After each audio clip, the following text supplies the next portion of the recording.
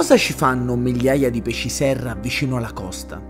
Ci troviamo nel mare Adriatico e in alcuni periodi è possibile osservare questi banchi enormi di pesci serra. Sembrano davvero invincibili, però c'è un predatore più grande di loro che li caccia e li mangia.